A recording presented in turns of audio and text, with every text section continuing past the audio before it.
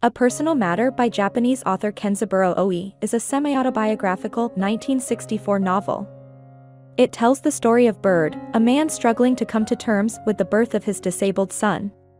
Set in the early 1960s, it explores the difficulties of parent-child relationships and learning to let go of the past. The story opens with Bird in a bookstore purchasing maps of Africa, a continent he has always longed to see. He goes looking for a phone in order to call his mother-in-law and find out how the birth of his child is going. While doing so, he thinks of both how fatherhood will stifle his dreams and also his struggles with alcoholism. He finds that the birth is taking much longer than it should. He goes into an arcade to test his strength. There, he encounters a gang of young ruffians.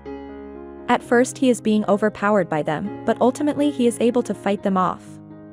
The following day he finds out that there is something wrong with his child. He goes to the hospital and finds out that his son suffers from what is referred to as a brain hernia, in which parts of the brain are pushed outside of the skull.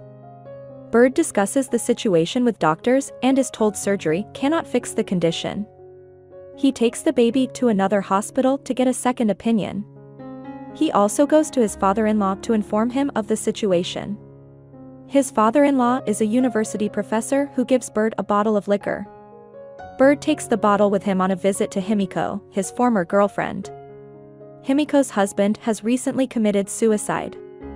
She drinks with him although Bird consumes more and is soon drunk. He passes out in Himiko's bed.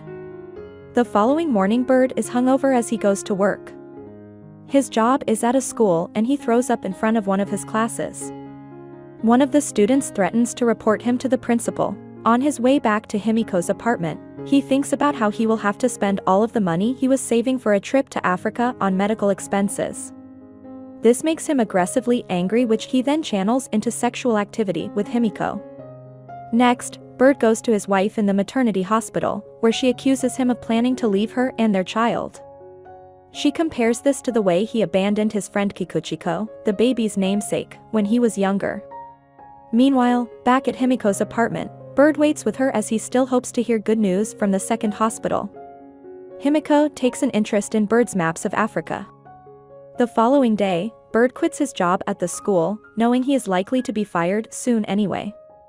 A friend of Himiko's and another friend of Bird's tell him that he needs to examine his conduct and realize how he is shirking his responsibilities.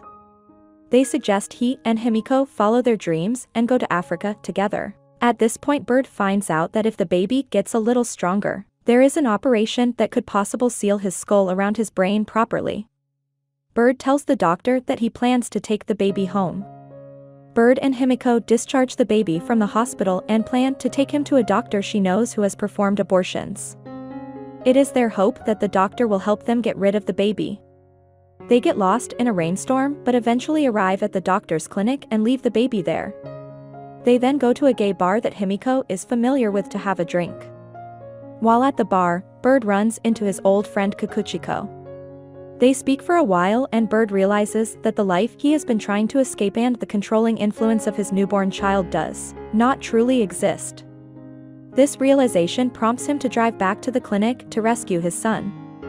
By the end of the narrative, his son's head and brain have been surgically repaired. Bird's father-in-law says it is obvious that Bird has changed and become more mature.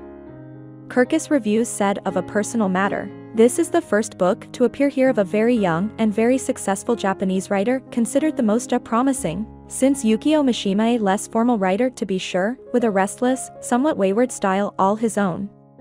Admirably catching the squirming, scurrying, scuttling progression of his young protagonist, by no means everybody's book, but one which succeeds on its own terms and through its high-strung spontaneity and imaginative agility. I hope you enjoyed this video leave a like if you did and be sure to subscribe thank you.